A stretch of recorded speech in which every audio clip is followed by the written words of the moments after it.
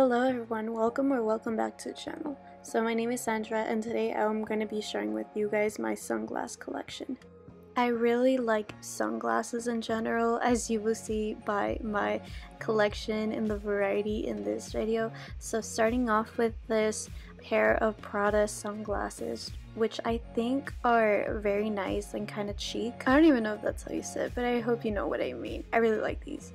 Next up are these sunglasses that I actually got in like a local store in LA. I don't even remember the name of the store, but I remember I got in there and everything was so expensive as you can imagine. And it was just like a trendy store. But I saw these sunglasses and they were so overpriced. I think I paid like 20 bucks and they are not comfortable. I really don't reach out for these, but I do still think they're pretty. I just don't really wear them, but hey, they're cute. These Ray-Bans were my first and only pair of original Ray-Bans that I own.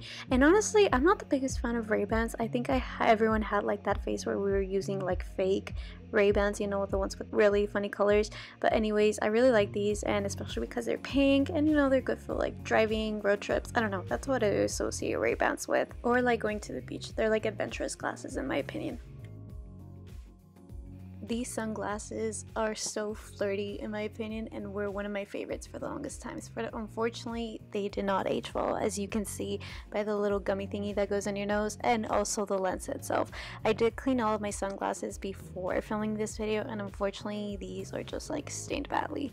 I do remember getting these in a local store in like Ruidoso, New Mexico and I wish I would have taken better care of them because I really like these sunglasses although I might be a little bit too old for them.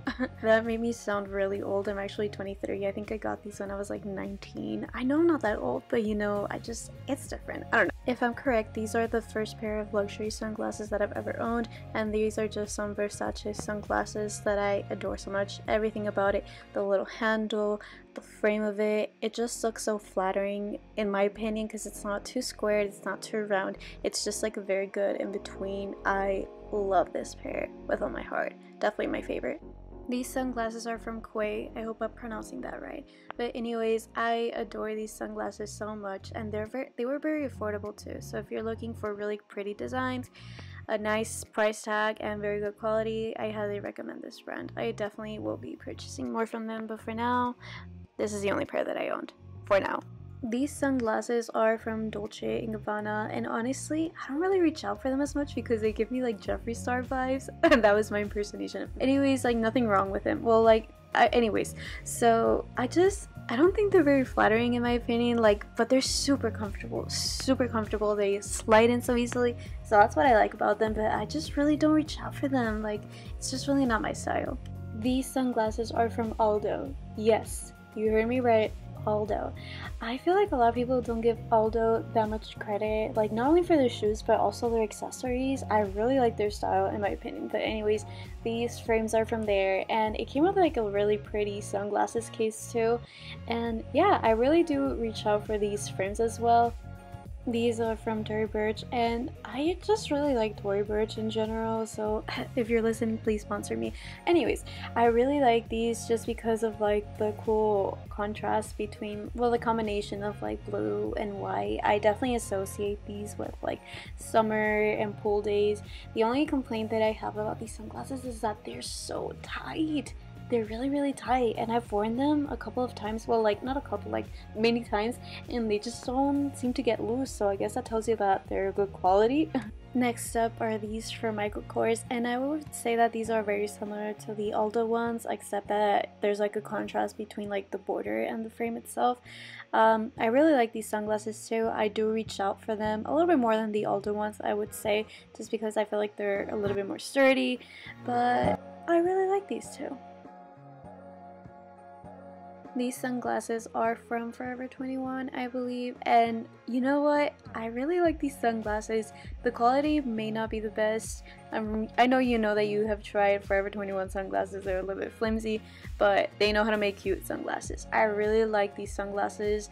The little like legs, the pink frames, they're just so flirty in my opinion. I really, really do like these sunglasses. Next up are these sunglasses that just give me like cat feline, feline, felino, feline, feline vibes. Sorry, bilingual problems. Anyways, I feel like these were a trend and they passed on really quickly, and I just really never got the chance to like wear them when they were like trending. Um, I think they're cute, but I just re- really never reached out for them. Next up are these sunglasses, which to be honest, I have no clue how I got them, but they give me like Forever 21 vibes. And look at that, it looks like I have like white eyes. Anyways, I I mean they look pretty cool. They give me like Elton John vibes. I don't know if I don't know. I just I don't wear these obviously. I don't know how I obtained them. Um but they're that. As a reminder that it's okay to let your goofy side shine through. that TikTok killed me, bro.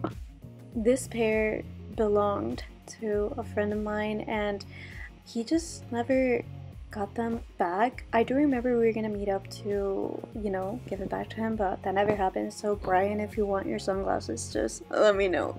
and this is the last pair of sunglasses that I have to show you guys today, and the newest addition to the family collection.